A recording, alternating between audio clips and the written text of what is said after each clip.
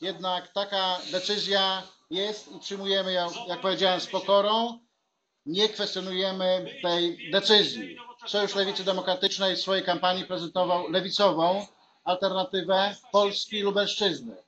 Niestety dwie partie prawicowe, które są w śmiertelnym uścisku, spowodowały, że ta walka między nimi była tak duża, że wyborcy uznali, że to jest właśnie główny nurt partii politycznych w Polsce.